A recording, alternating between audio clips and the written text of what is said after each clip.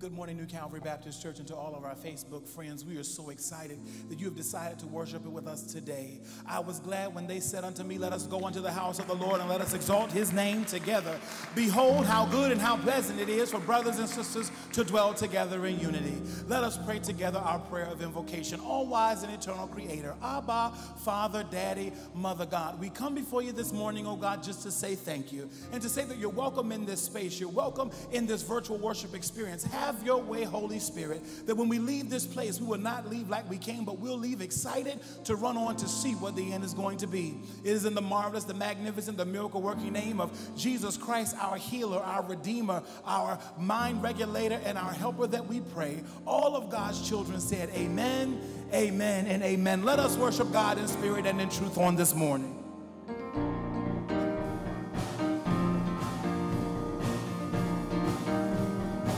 Command my soul, I command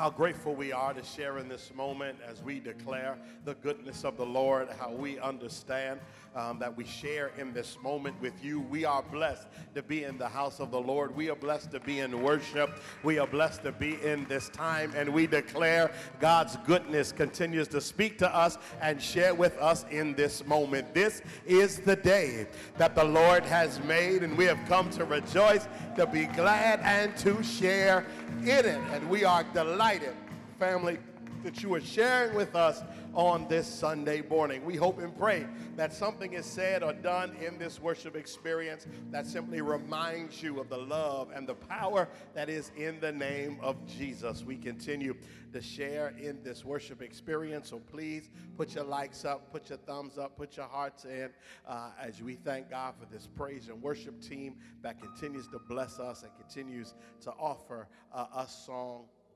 and ministry in their gift. Hey, New Calvary family and friends, how you doing? We are just so delighted to share with you in this moment. Listen, we want to just share a quick few things with you. We are looking forward to sharing uh, in the month of September and continuing moving forward virtually as we worship together. We want you to know we are putting together, just because we are worshiping virtually, does not mean um, that we will still not try our best to bring you some of the most powerful and relevant teaching we can in terms of our leadership. And so we are still planning uh, our leadership conference, and we're looking to do that virtually. We're looking for folks uh, to sign up, and we will give you that information so you can sign up and be a part of our virtual um, training as we continue to just grow as a church, as we look to talk about what direction we are going to move in in this season, as we look to continue to grow and do ministry and what it means for us uh, in this particular time. We also uh, want you to know that we so are so ever so grateful for your continued giving and being a blessing to the new calvary family as we just continue to minister and to serve and as we continue to deal uh, with our operating expenses. We are grateful for your gifts, and people have brought their gifts in, people have mailed their gifts, and people are using Givelify and making New Calvary their favorite place to give. So continue uh, to uh, share in your tithes and offerings in this season as we just continue to stretch uh, and share with one another. Uh, we hope and pray that in this month of August you have been blessed um, by um, these words, by this worship, by this virtual team that continues to bless us. We want you to make sure that you're sharing your likes and your hearts for this virtual team that continues to work diligently to put all of this together. We want you to make sure um, that you like and follow our Facebook page. Uh, those of you who are sharing, make sure that you do that. We want you to make sure that you are signing on, and following us, uh, and we also want want you to subscribe to our YouTube page. Our YouTube page is growing uh, and we're expanding. We're excited about that and what God is doing as we continue to stream. God keeps giving us avenues that we would continue to extend this ministry to even greater places as we go forward. And so we want to ask that you just continue to be faithful in that. We're going to continue to move forward in this worship experience. And so if there are prayers and concerns that you have in this particular particular moment, please put them in your comment section. Please make sure that you list your prayers so our virtual minister will continue to respond and let you know that as a church family, we are continuing to pray for you. For we believe that God is continuing to move in this moment, that as we continue to share and as we just continue to grow in faith, we believe God is continuing to answer in this moment. So as we prepare our hearts and minds, let us look to the Lord in a word of prayer. Gracious God, how we thank you and how we love you. We bless your holy name for all that you have done, and we bless your name for this day. This day which you have allowed us to come together, this day that you have allowed us to receive your word and your worship. God, we are grateful for each day that you have allowed us uh, to walk and simply operate in this space. God, we give you praise, honor, and glory for all that you've done. For when we look back over our lives, we understand the days have been blessed. We understand that you have been covering and following us uh, on this life's journey. So, God, continue to bless us as we go forward. Bless us, God, as we prepare our hearts and minds as our children make their way back to school very soon. Bless them, God, uh, as we are continuing, even if we are learning virtually, God. We put our trust in you. We're praying for every household right now that needs you. We're praying for every mother, praying for every father, praying for every teacher, praying for every school administrator, all those, God, who need you right now now as we prepare our hearts and minds to continue to educate and to lift up our young people. But not only are we asking you to touch our young people, God, we're asking you to touch our families in terms of our finances. We're asking you to speak to the hearts and minds of those who are still operating and trying to move in places of faithfulness during this pandemic. Touch them now, God, as they continue to understand what it is you would have them to do. We understand, God, that even in the pandemic, there's still life experiences that are happening to us all. So, God, in those places of anxiety, in those places of depression and sadness, in those places where we are unsure, in those places where fear may have hold of us, God, we're still asking that your spirit touch us that you would break chains, God, and lift us up, God, and open up possibility that we might see your glory, your majesty, and your power. Continue, Lord, to lead us and direct us as you would have us to go. We pray still, God, for this country. We pray for this nation. We pray, God, for a healing salve to go across this nation that people might be healed and recovered from this deadly disease. We ask, dear God, that folks would use their common sense and their instruction to protect themselves and those that they care about. We ask, Lord God, that you would just continue in all things to lead us and direct us in the path that you would have us to go. And we promise, God, in all things, we'll give your name the praise, the honor, and the glory. We pray, God, for everybody who is watching virtually right now, every household, every person, God, every church that is continuing to do your work in your name. God, we lift you up because we believe that you are the one that will see us through. We lift you up, God, because we believe that when we look back over our lives, you are a God that has never left us or forsaken us. We look back in this moment and we celebrate you, God, and we know that you're still God all by yourself. So have your way, Lord and continue to lead us and direct us. And we promise we'll be mindful to give your name the praise. Teach us where to go. Teach us where to step. Teach us, God, how to continue to live in accordance to your will and your way. And we will say thank you through it all. For it is in the wonderful, marvelous, and majestic name of Jesus that the people of God who love God together say amen. Say amen and amen. So come on, put your lights up, put your um, hearts up as we celebrate as our praise and worship team comes to us and shares and blesses us uh, with a song in this moment.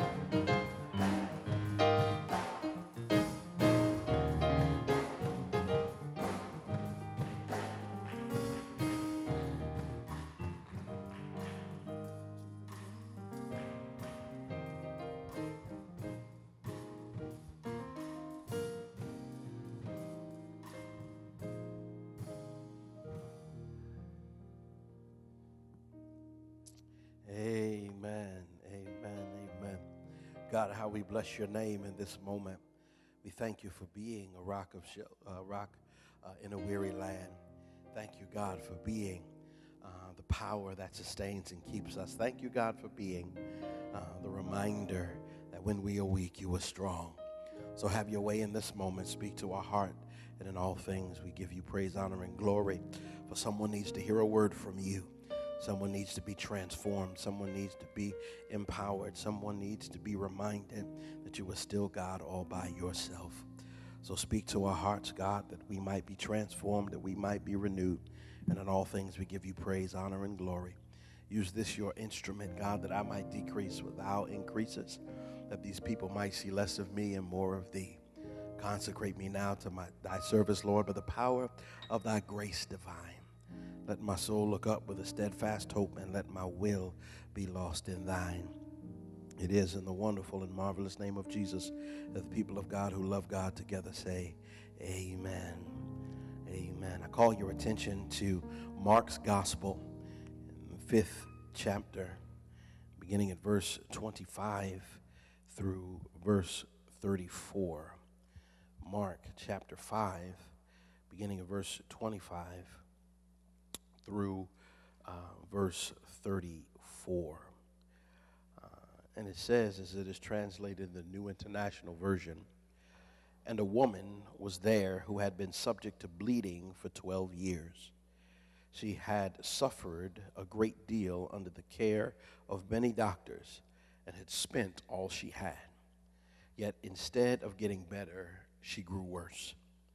When she heard about Jesus, she came up behind him in the crowd and touched his cloak because she thought, if I just touch his clothes, I will be healed. Immediately, her bleeding stopped, and she felt in her body that she was freed from her suffering. At once, Jesus realized that power had gone out from him. He turned around in the crowd and asked, Who touched my clothes? You see the people crowding against you, his disciples answered, and yet you can ask, Who touched me? But Jesus kept looking around to see who had done it. Then the woman, knowing what had happened to her, came and fell at his feet, and trembling with fear, told him the whole truth. He said to her, Daughter, your faith has healed you. Go in peace and be freed from your suffering. Says uh, that verse 28, she said, Because she thought, if I just touch his clothes, I will be healed. Immediately her bleeding stopped, and she felt in her body that she was freed from her suffering.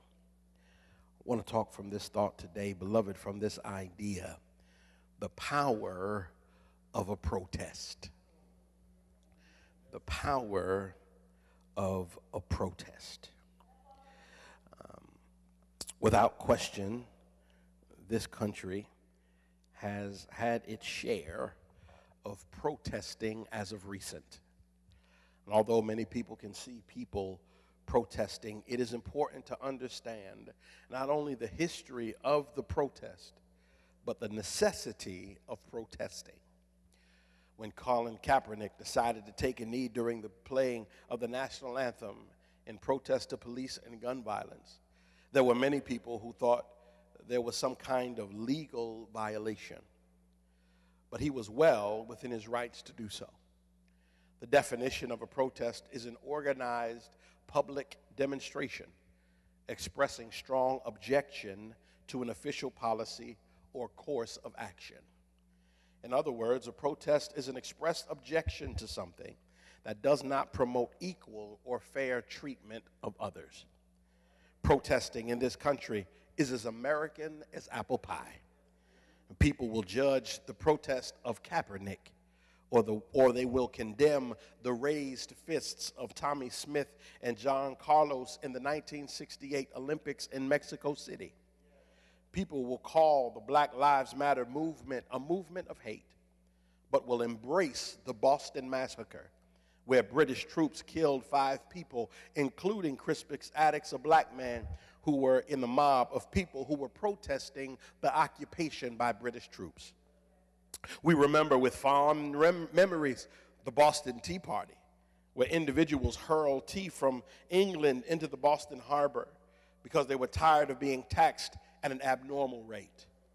The first Equal Rights Amendment movement took place in 1923 and continued into the 70s, which riddled with protests and rallies for women's rights.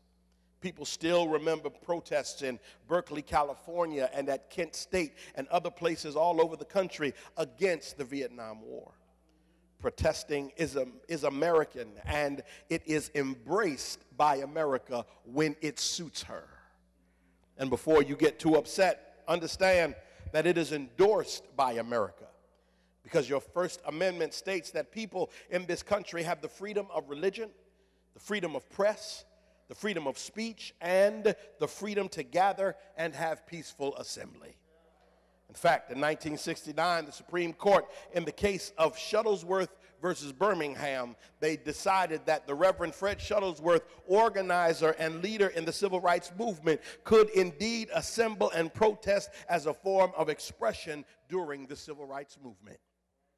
I'm sharing this history with you, brothers and sisters, because we need to be reminded that protesting is not only legal, but it's your right. It is what you sometimes have to do when no one will listen. Protesting is what you have to do when no one seems to be paying attention. Or, you're, or, or some protesting is what you have to do when you have worked with the system, but the system has not worked with you. Protesting is what happens when you are trying to get somebody's attention. Hold on. So, by that logic, sometimes I have to speak up in order for things to change. In fact, I may have to operate in faith to get God to understand my situation. That perhaps my worship is a protest. Maybe my prayer is a protest. In fact, how about this? Could it be that even my faith sometimes is an act of protest?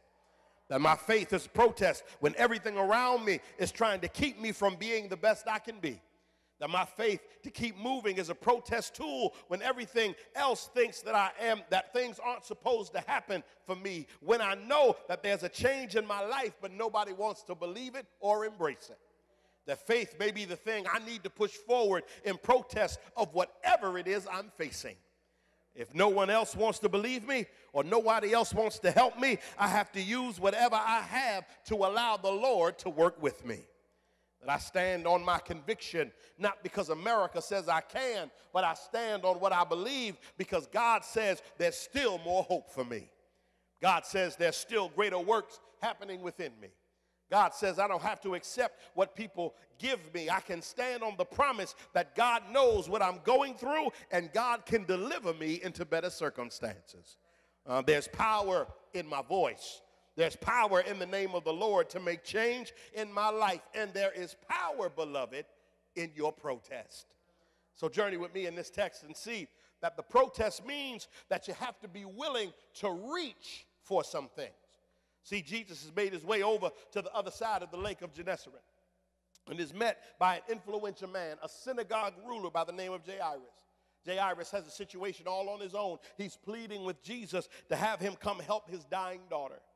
The text declares that Jesus makes his way with Jairus through the crowd as the, they are pressing on him, meaning that Jesus is surrounded by people who are hanging on him, making requests. But in the crowd, there's this woman who, according to the scripture, has been subject to bleeding for 12 years. This, you understand, creates several challenges for her in her current cultural context. Because according to the biblical law, she is considered unclean and not supposed to be close to people at all. But here she is in the crowd with everybody else. Her condition is crucial. In fact, the text says uh, and tells us that it's getting worse. She has spent all the money she had on doctors who were no real answers for her, but they did manage to take her money. Maybe she didn't have the right health insurance. Maybe she didn't have the right coverage. Perhaps her HMO didn't have the doctors she needed in her network. Perhaps she didn't make enough money in her household to be considered for eligible, eligible assistance and Obamacare. I mean, hemorrhaging for 12 years. If she ever was married, she's shown enough divorce now because she's fending for herself. The society says she's in isn't interested in her well being. It's only interested that she remains, watch this, out of sight. You can see women who are dealing with their monthly cycle often shared space together because they weren't supposed to be with their husbands, much less be with their husbands in their beds. So women, women would often stay together during their cycles and they were isolated from the rest of the community. And being as this woman has a constant issue, she is supposed to stay in the house and out of sight because she can be an inconvenience to those around her. The society she's in doesn't want to help her, they just want her to suffer quietly. They don't want to be inconvenienced by her issue or her problem. You know, that's what happens to people who become difficult to help. Who, or who present an inconvenience for us. We prefer that they stay out of sight people who make us uncomfortable, people who remind us that we can be in the same situation. We put them away quietly and ask them not to make too much noise or cause too much attention to themselves. We don't like to hear it. It's hard for others. Um, we don't like to hear that it's difficult for other people. We only want to hear when it's difficult for us. We don't want to be reminded that there are families that don't have enough food to eat. Just like right here in this section of Norfolk where we live in a food desert or that there's water in some parts of the world that is killing people because it's so contaminated, like it is in Flint, Michigan. We don't want to be reminded that those who suffer with mental illness are less treated in this country. We don't want to know that there are people in perpetual poverty because some of these small municipalities, like Ferguson, Missouri, write $500 jaywalking tickets when somebody makes minimum wage and's got to take off work to go to court and they got little or nothing else to live on. We know they're out there. We know they're out there. We see them and we turn away. We know they're going through something, but it's too much for us to deal with. We don't want to be bothered with Black Lives Matter because that's not our community's problem. You got people like Ben Carson talking about it being a hate organization or this crazy woman running around smearing Black Lives Matter symbols with black paint because you don't want to deal with the issues. You would prefer that it goes away. The society isn't looking for help. It's more comfortable when the problems are hidden away. But this sister ain't hiding. In fact, she's right in the middle of it all. Watch this. In fact, she's in protest mode. And the Bible says she thinks to herself, if I can just touch his clothes, uh, I will be healed. She says, if I can just get to the garment, uh, if I can just get close enough to get what he has on, I know something's about to change. And so she reaches and the text says, immediately her bleeding stopped. And she felt in her body that she was freed from her suffering. Some of y'all missed it. Folks wanted me to hide but I didn't keep my struggle a secret. I took it to the one who could do something about it. I didn't let myself get limited by what other people were comfortable with, but I made my way and I reached out for something better. And if you want to get more from the Lord, you need to know how to reach. If you want God to change your situation, you need to know how to reach. Every now and then, you need to know how to take a risk. I'm not even supposed to be here, but I'm taking a risk, and the Lord still helped me. I wasn't about protocol, it wasn't about peace of mind, and the Lord still showed up and delivered. There's some people who could say, I was in some places that I wasn't supposed to be. I was in some circles where people looked their nose down on me. I was in some places where they would have preferred to kindly ask me to leave or to step to the back. But because I knew who the Lord was in my life, I had a protest spirit of faith, and I decided that I was going to stand up, and the Lord has delivered every time. You got to know that protest means that you have to reach for some things. But here's the second thing is protest means that you're going to have to be real with where you are. Yeah, see, this woman, she reached even when she wasn't even supposed to be there.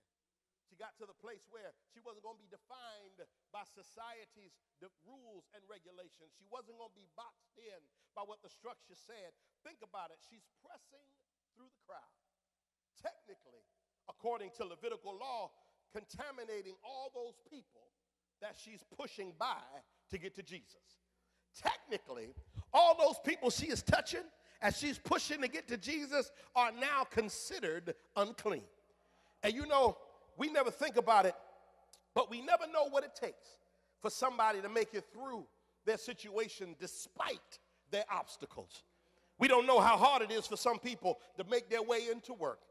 We don't know how hard it is for some people to show up at school uh, when they're navigating through the streets of violence and drugs and domestic abuse. We don't even know what it is for some people, how hard it is for them to even show up to worship on a Sunday morning. Some people have been so beat up all week long. Some people get doctor's news and diagnosis that they just can't believe. Some people got folk in their houses who fuss at them and cuss at them and hit them and abuse them. Every time they wake up in the morning from the the time they go to bed at night that they don't feel like doing much of anything. Some people get beat up by life and start to believe what the devil is telling them, and they want to quit and give up and don't even try and see what the next day will be like. But there's something about the name Jesus there's something about the name Jesus that makes people want to press their way. There's something about the name Jesus and the promise that the Lord is able to work it out. Makes them say, if I can just make it into the presence of the Lord one more time. Some people tell themselves,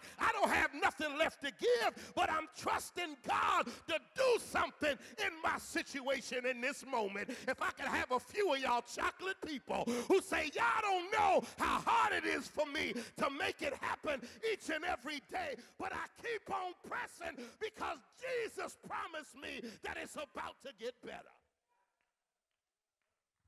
Oh, oh, there's something that you can say that I don't know. There's some people you say, I don't know what it took for you to get here, but I know you're here because you're looking for God to do something in your situation. And look with this position. Look, this is the position that Jesus is in right now in this text, right now in this text where Jesus is, Jesus is saying, Hold up. He says, Hold on. Somebody just touched me. He said, Wait a minute. Jesus is walking, pressing through the crowd. Mind you, he's going with Jairus somewhere. His direction is Jairus. He stops because somebody's been changed. He's on his way to a healing, but he stops where he is because he says, Hold on a second. I'm noticing that somebody's different. Huh, you missed it. Jesus realized that power has gone out of him, and he says, Who touched me? I don't want you to miss this, family. You see, the traditional text says that virtue left him. And so that means that Jesus knew that he had to share something at that moment. Uh, he wanted to know where it went. y'all, some of y'all still ain't getting this. We say he's a God that looks past our faults and sees our need. So the power in him recognized the need in her. So when the need in her met up with the power in him, there was a transfer because the need was so great, Jesus had to find out who it was. He asked, Who touched me? The disciple said, Huh? You see the people crowding around you, Jay? They call him Jay. You see the people crowding around you? What you mean, who touched you? Everybody is touching you. You gonna ask us who touched you in this crowd? You missed it. She might not have looked like she needed anything, but her touch told a whole different story. Oh, help me, somebody. She might not have looked like she needed anything, Oh, but when she touched Jesus, it told a whole different story. Here it is. It doesn't matter what you look like, uh, what you need. When you need something from the Lord, I mean, really need something from the Lord. I mean, your enough is enough. Need him. You can touch him like nobody else can. She may have looked like she had it together. She may have looked like she could blend in, but what she needed, well, only the Lord could provide. And you see, some of us are too busy working hard. We work hard. We work hard to look like we got it together. Some of us work hard to look like we got it together instead of going to God with what we really need. And if you truly want to be liberated from the things that have you bound up, then you need to reach out and get real. You need to touch the Lord and get what you need from Him. Jesus ain't moving.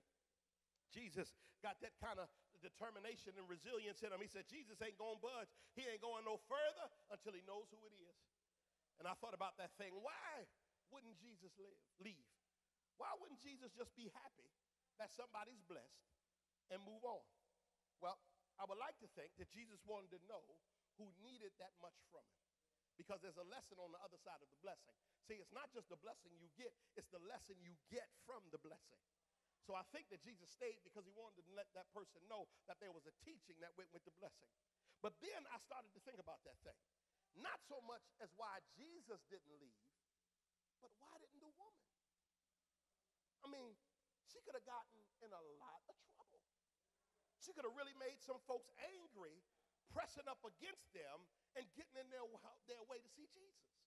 I mean, to avoid trouble, she could have just reached in, slipped in, and slipped right back on out. But I thought about it. She must have wanted to say thank you for what the Lord had done. So she tells him the whole story. She has to tell him the whole truth. She got to keep it real, carrying around a burden for so long. And you have the Lord remove it with one touch. She must have wanted to tell the Lord what happened. I've been carrying this thing for 12 years and God moved this thing right away. I have to have a thank you and a praise report in my situation. And when you have the Lord to show up in your situation, you ought to have sense enough to tell the Lord thank you. If you've been dealing with it for 12 years or you've been dealing with it for 12 minutes, when you know that the Lord has shown up in your situation, you ought to be able to say, God, I thank you for what it is you've done for for me. If you know where I've been and what I've been through, I need to tell you my story because won't nobody believe it. But because the Lord stepped in my situation, I've got to tell the Lord how grateful I am for everything that the Lord has done. You need to keep this thing, you need to keep this thing uh, focused and, and make sure that you keep it real uh, in this thing. Got to know how to reach got to know how to keep it real. But here it is, the final thing. Your protest means that the Lord is able to restore us through our faith. See, Jesus ain't moving. He keep looking around. He wants to know who touched him. He wants to know who got power, who got the power they needed. The woman realizing what happened to her goes to him and she falls at his feet. I'm in the text. Text says, with fear and trembling, she told him the whole truth. I don't know what the actual conversation was, but I've got to believe she went down on her knees and said, Teacher, it was me. I want you to know I, did, I didn't mean to disturb you.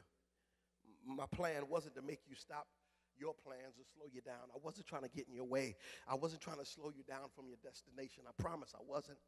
I know you got somewhere to be, but you see, I'm in dealing with this issue uh, for with bleeding for a little while now. It's messed my life up. It's kept me from doing anything. I heard you were in the area, and so I figured that if anybody could do anything about it, you could.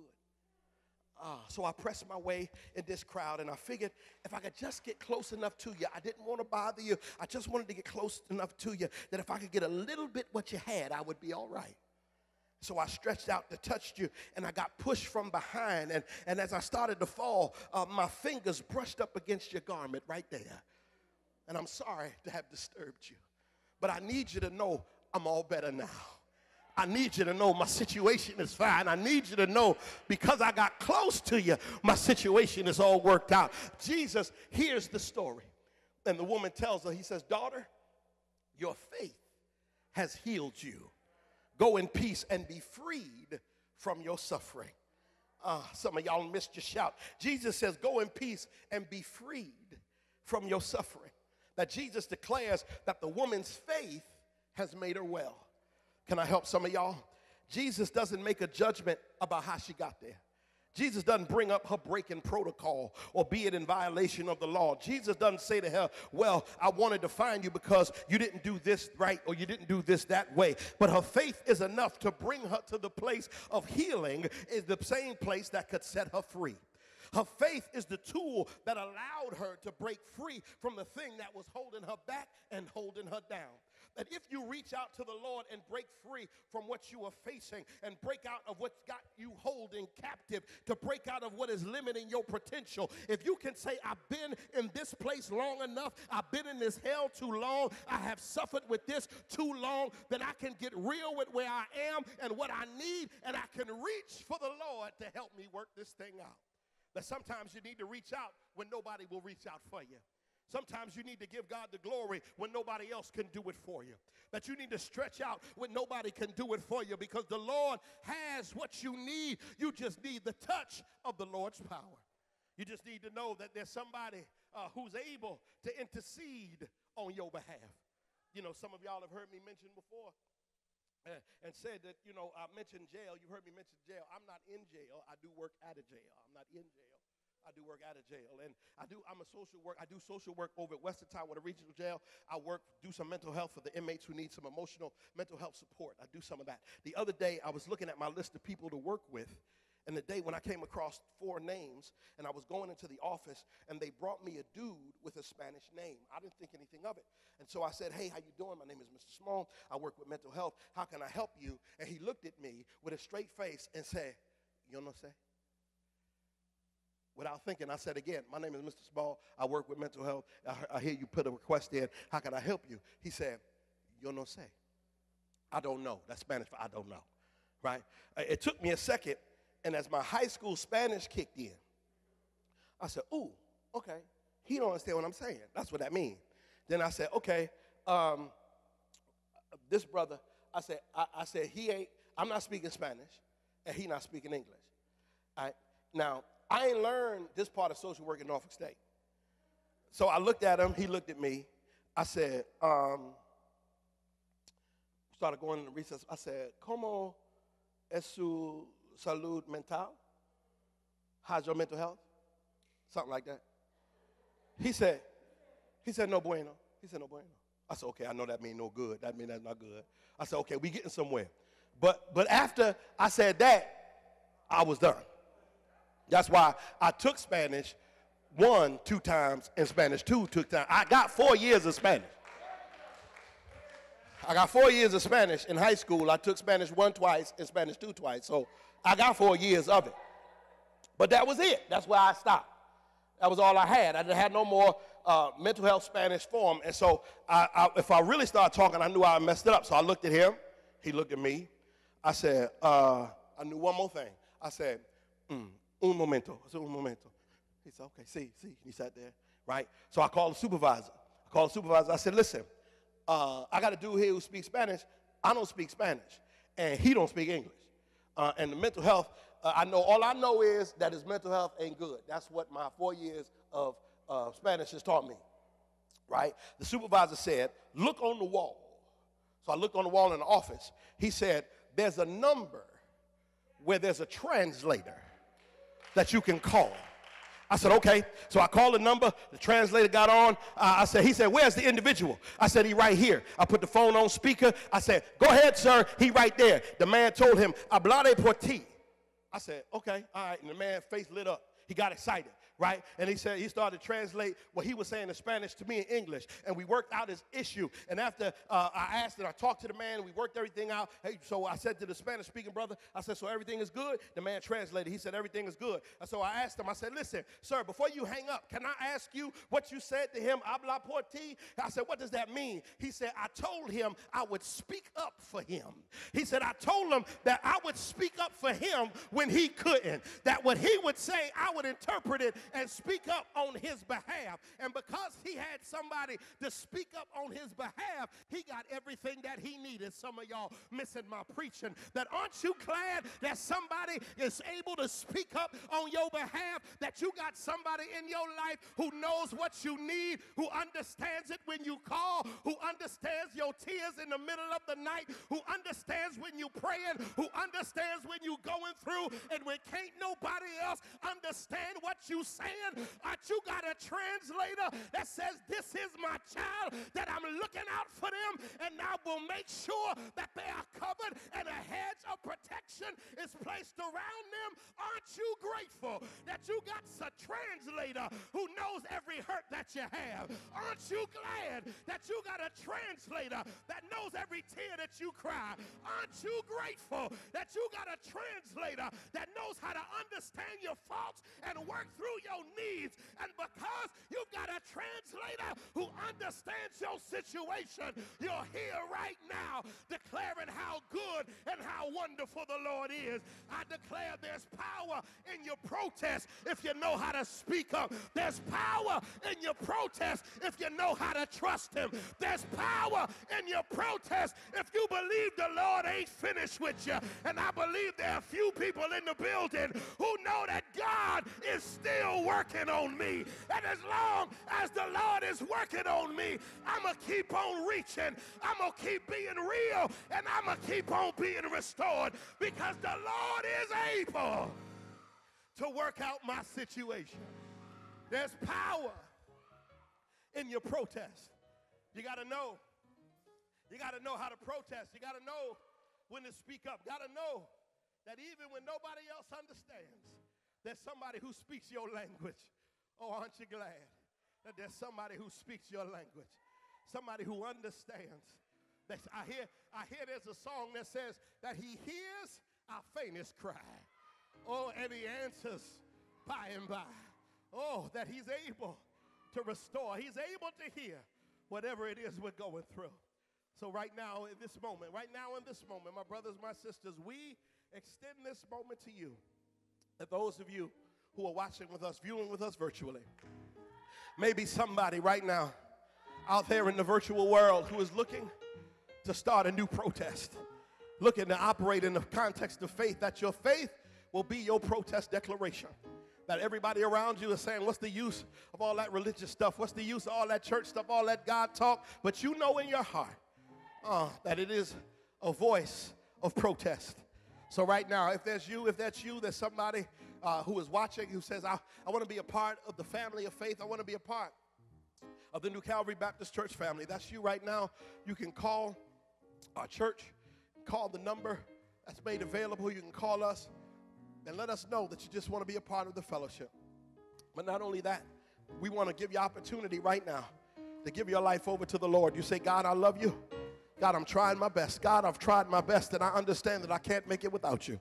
God, I understand in the ups and downs of life, there's circumstances that I didn't seek, didn't understand, didn't see coming, and I didn't ask for. But God, I believe that you're still healing.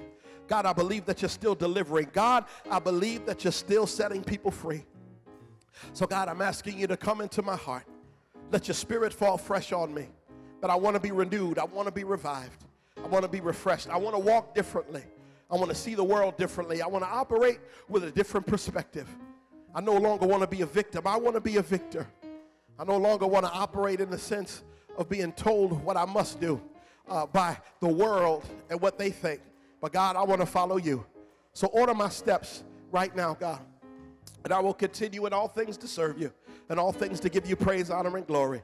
And we celebrate with you right now. We put our hands together right here and bless God for you for that decision, for that choice that you're making right now. For we believe God is transformative. And so make sure that if you want to be a part of the New Calvary family, you just reach out to us. We love to share with you and love to grow with you in this moment. And so as we prepare our hearts and minds to depart from this place, uh, we are grateful. Make sure that you uh, tune in and continue to watch as we continue to share, even in this moment. Uh, for our Summer Madness series. We're grateful for you. Make sure that you're tuning in, you're subscribing, that you are liking, and that you are following our Facebook page and subscribing to our YouTube page. We love to worship with you, and we're grateful that you're sharing with us in this moment. So, as we prepare to depart from this place, we say, God, we love you. God, we thank you for worship. Thank you for this opportunity to come into this place. God, thank you for this worship experience. And we pray that your spirit has not only resonated in this building, but it has resonated in all of the televisions and all of the computers, all of the telephone, all of the social devices and media devices um, that have been watching this moment. And God, we give you praise for it all. And we thank you and ask you to keep us safe, keep us protected, keep us shielded until we fellowship with each other again. And in all things, we give you praise. It is in the wonderful, marvelous, matchless name of Jesus that the people of God who love God together say amen, say amen, and amen again. We'll see you next time. Until then, we love you. Take care of yourself and each other. Be good. Peace.